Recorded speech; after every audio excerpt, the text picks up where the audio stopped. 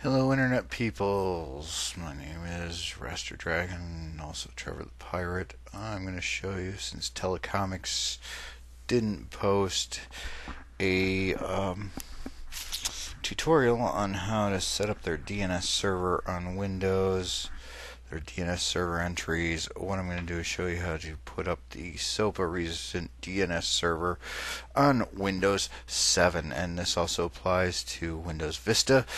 Uh, it's similar in Windows XP. If you have earlier than Windows XP, well, you know, your mileage may vary. Uh, but you know you can get the general gist. Most people have Vista or 7 these days. I'm sorry if you have Vista, uh, but this is how simple it is what we've got is we've got Telecomix DNS page.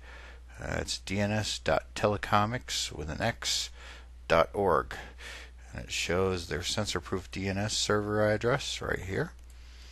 Uh, 91.191.136.152 right now. So that that's possibly what you got. It's not very complicated to use a DNS. All you got to do is go to your start orb here control panel and click on the network internet heading. Click on the network and sharing center heading. And then over here off to the left, you'll see change adapter settings. Go ahead and click on that. And you'll see your various connections. If you have wireless, you'll see a wireless connection here also. If you have both, your wired and wireless, you're going to want to change both. I'm only showing you this as it is on this desktop that only has a wired connection. Uh, you just right click on the connection, go to properties, and it'll give you the connection properties, connect using, blah blah blah. And what you're looking for is this Internet Protocol version 4 here. You want to click at the right side where the name is, not the left side, because if you click on the left side, you're going to uncheck it and you're not going to have any internet access at all. Alright, so just click on that so it's highlighted and then click Properties. Now you've got your General tab automatically. It says Obtain an IP address automatically or use the following IP address.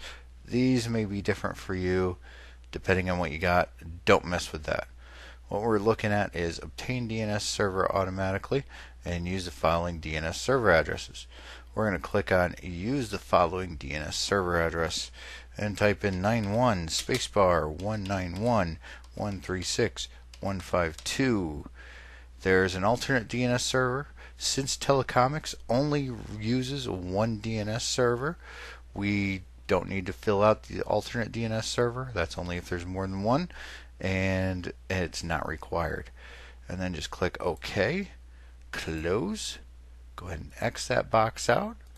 Then go ahead and open up a thing and let's see, let's go to prq.se. We're looking at prq.se. Didn't have to reboot, and we're using Telecomix DNS.